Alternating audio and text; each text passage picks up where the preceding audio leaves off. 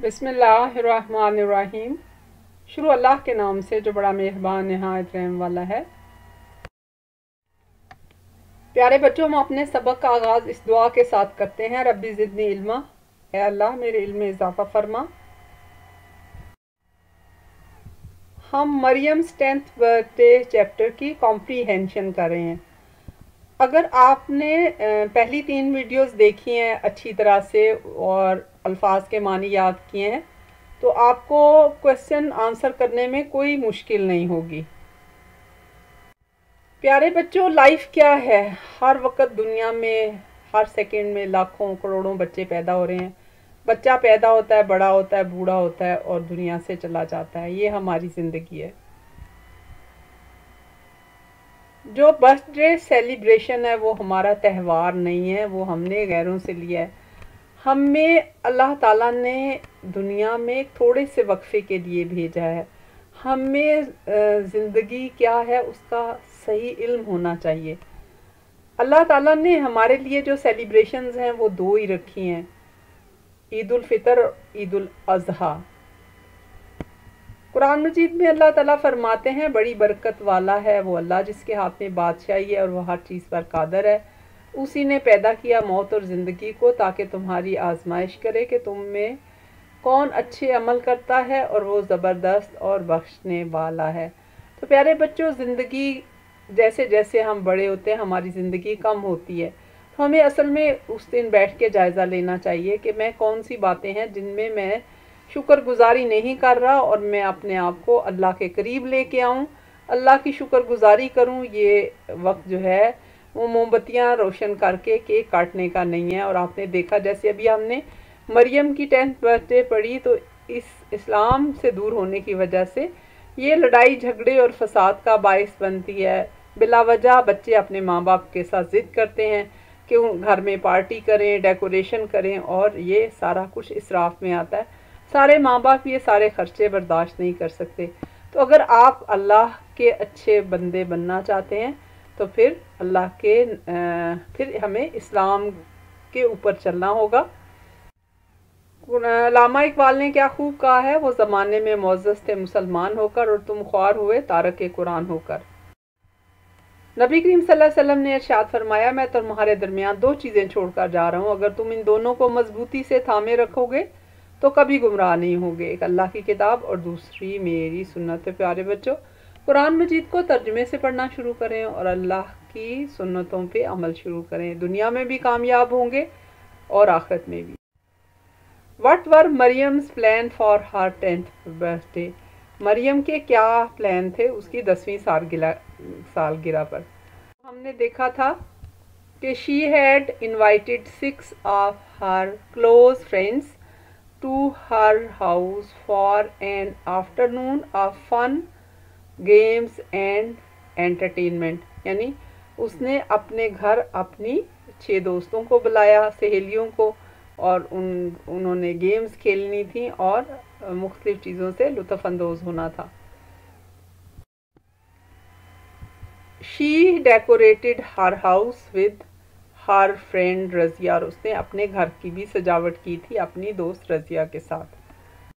अगला सवाल है how did Mariam and Razia plan to look like princesses Mariam और रजिया का क्या मंसूबा था कि वो शहजादियों की तरह दिखाई दें?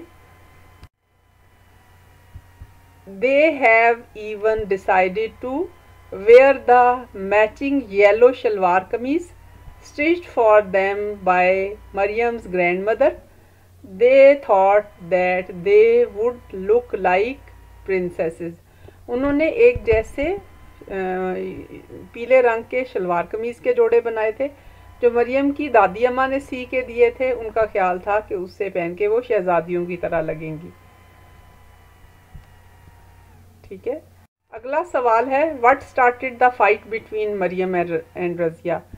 Mariam और रजिया के दरमियान लड़ाई किस बात पे शुरू हुई? Razia was unable to attend Mariam's birthday celebration क्योंकि जो रज़िया थी, उसने मरियम की बर्थडे पार्टी अटेंड नहीं कर सकी थी। इस वजह से उनके दरमियान लड़ाई शुरू हो गई। अगला क्वेश्चन है how did Mariam avoid Razia in school Mariam ने रज़िया को कैसे इग्नोर करना शुरू किया, गुरेज करना शुरू किया स्कूल में? For the next two days at school Mariam avoided Razia as much as she could she even us the teacher to change her seat so she would not have to sit next to Razia उसने school में जहाँ रजिया आती थी, वहाँ से दूर चली जाती थी और टीचर से कहा कि उसकी सीट भी तब्दील कर दें ताकि उसे रजिया के साथ ना बैठना पड़े। अगला सवाल है why was Razia unable to attend Mariam's birthday how did Mariam find out about this Razia ने क्यों मरियम की बर्थडे पार्टी अटेंड नहीं की और मरियम को कैसे पता चला? Razia's mother caught a bad case of food poisoning on the morning of Mariam's birthday. Razia की अम्मी को हैज़ा हो गया था जिस दिन मरियम की बर्थडे पार्टी थी। मरियम को कैसे पता चला कि उसकी रजिया की अम्मी बीमार थी? On the third day of their fight Mariam return home from school to see her mother going somewhere जब मरियम तीसरे लड़ाई के तीसरे दिन घर पहुँची तो उसने देखा कि उसकी अम्मी कहीं जा रही हैं। I am sure she must have told you that her mother has been very sick said Mariam's mother Mariam की अम्मी ने मरियम से कहा कि, रजिया ने तुम्हें बताया होगा कि उसकी अम्मी बहुत बीमार हैं। तो इस तरह रजिया को पता चला। नेक्स्ट क्वेश्चन है do you think Razia is a good friend why do you think so क्या आप समझते हैं कि रजिया एक अच्छी सहेली थी? आपने ऐसा क्यों सोचा? इसका जवाब है Razia hugged Mariam and explain the reason of her absence and presented her pencil box exactly the kind Mariam wanted एक तो आ, रज़िया ने सारी बातें भूलकर मरियम को गले लगा लिया और फिर वजाहत भी की कि क्यों वो उसकी पार्टी पे नहीं आ रही थी। तीसरी बात उसने रज़िया को उसका गिफ्ट भी दे दिया। तो जो अच्छे दोस्त होते हैं शी वॉज़ ऑनेस्ट वो उसने बिल्कुल सच्ची बात की, उसने झूठ नहीं बोला। Accepting great friends are accepting she accepted her even after fight उसने लड़ाई के बावजूद भी अपनी दोस्ती नहीं छोड़ी। लॉयल वो उसकी वफादार थी। उसने उसको बर्थडे गिफ्ट दिया। रिस्पेक्टफुल उसने उसकी घर आने को इज़्ज़त बख्शी और वो ट्रस्ट वर्दी थी पुरमाद थी। तो ये सारी चीज़ें रज़िया में पाई जाती हैं। तो he was a she was a good friend तो प्यारे बच्चों, उम्मीद है आप भी अपने अच्छे दोस्त होंगे। लड़ाई गलतफहमियाँ पैदा हो जाती हैं। दोस्तियाँ नहीं छोड़नी चाहिए। उम्मीद है आपको सबक पसंद आया होगा। इस चैनल को सब्सक्राइब करें, इस वीडियो को लाइक और शेयर करें।